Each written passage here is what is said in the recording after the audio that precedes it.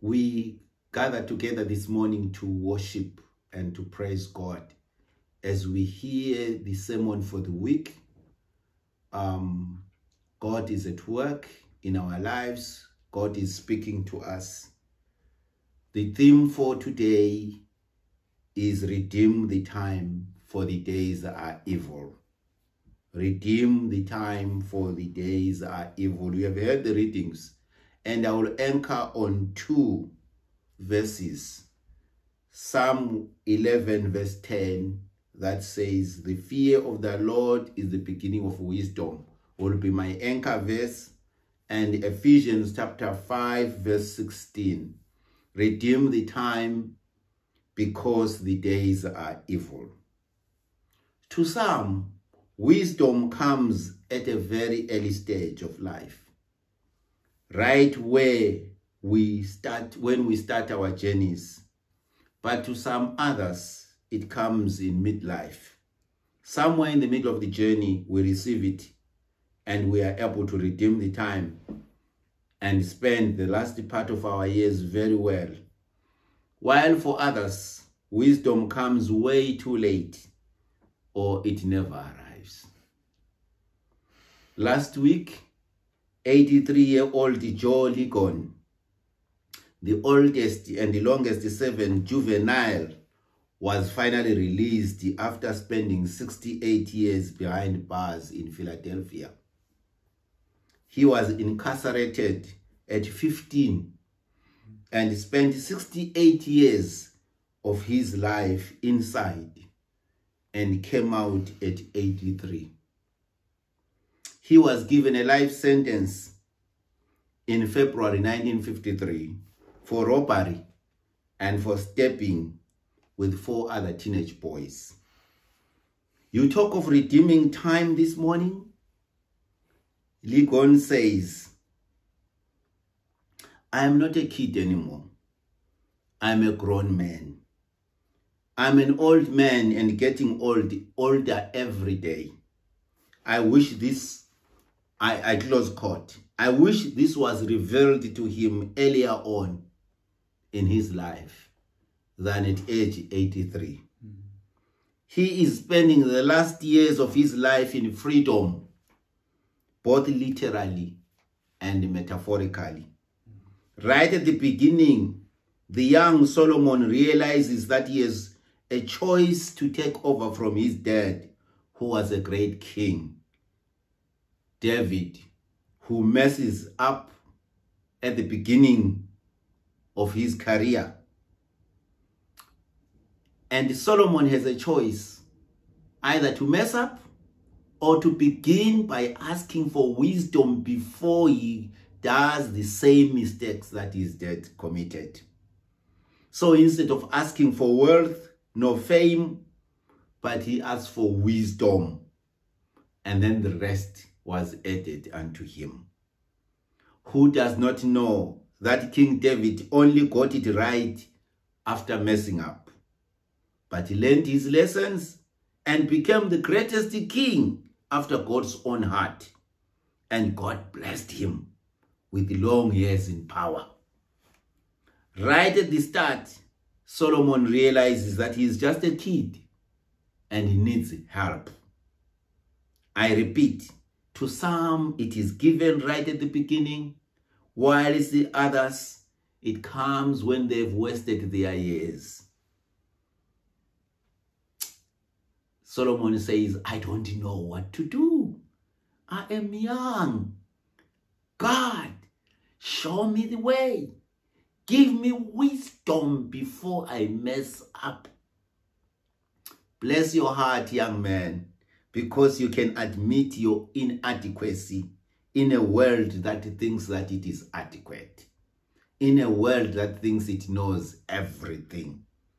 What a prayer the young man shoots right at the beginning. He shoots the prayer right into heaven. He is sitting on a throne and remembers to shoot up a prayer to a God who is sitting on a throne. And he lifts up his hand, bows down, and he said, Your servant is here among the people you have chosen, a great people, too numerous to count or to number. So give your servant discerning a discerning heart to govern your people and to distinguish between right and wrong.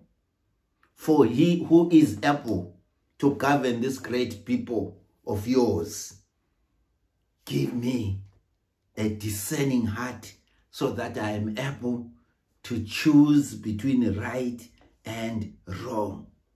God was not just surprised, but was shocked that there are still good-hearted people like this young man under the sun. And this is God's response.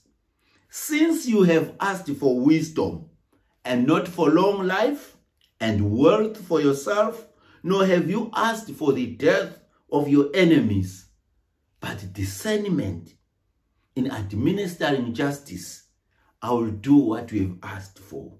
But I will give you a wise and a discerning heart so that there will never have been anyone like you, nor will there ever be. In, in other words, God is saying, you have asked for the right things.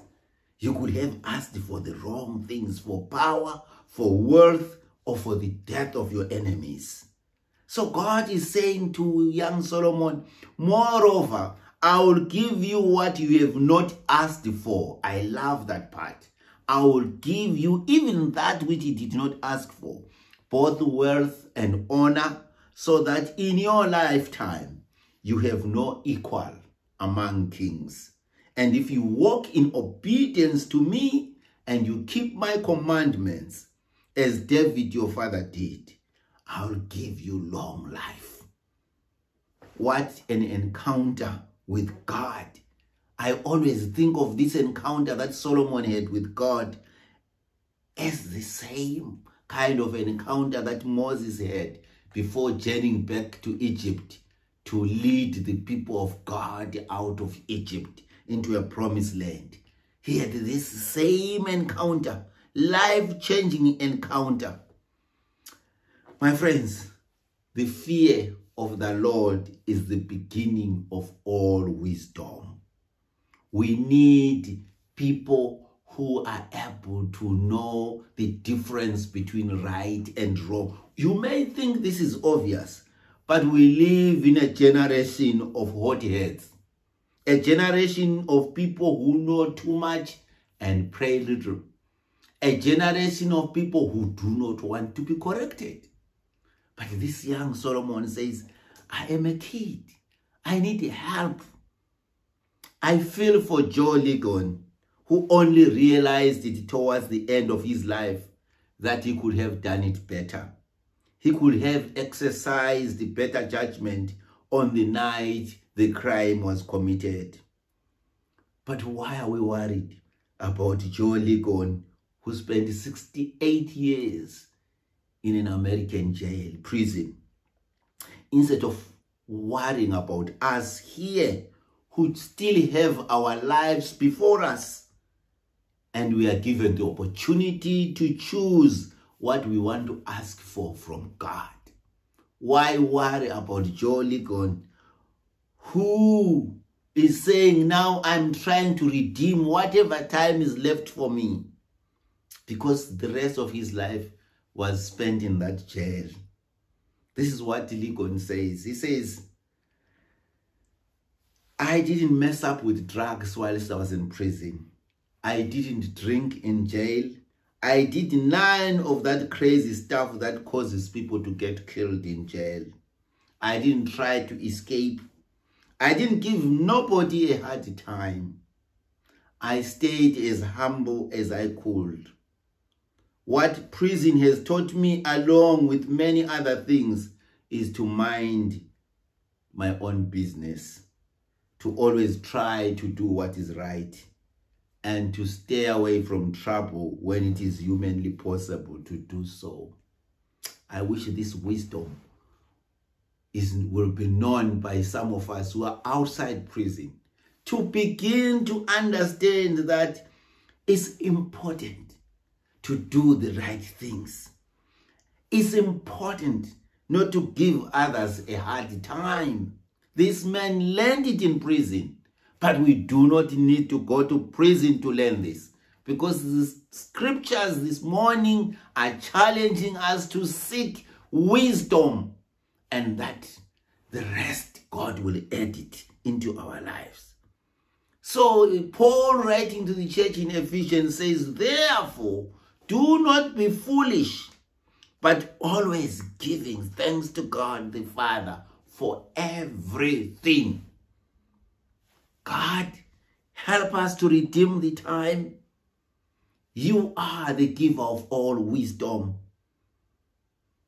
We don't want to spend our days messing up. We don't want to spend our days giving other people hard time. What we just have to do is to keep the momentum because the end is near. And if we are not careful, we will spend the remainder of our years and days chasing after useless things and sitting in useless meetings and activities that are not life-giving, that are not nourishing our souls. We need to refuse. We need to refuse to be used and to be abused and to play people's games. These are your people, oh God, Solomon says. I don't want to lead them just for the sake of leading them so that I'm consumed by their agendas. I want to do your will, O Lord. And God says, you are the man. You are not asking for honor, for wealth, for the longevity of life, but you just want to do the right thing. May God help us because we live in an evil generation. Let us redeem the time. Let us redeem the time. And my sisters, my brothers, the wisdom that I'm asking for myself is that I avoid drama because there is too much toxic drama going around. But I refuse to be drawn into that. I need to focus. I need to redeem the time.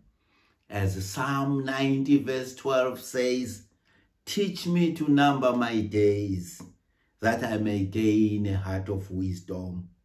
Please, God, teach me to number them one by one, year by year, so that I can gain a heart of wisdom.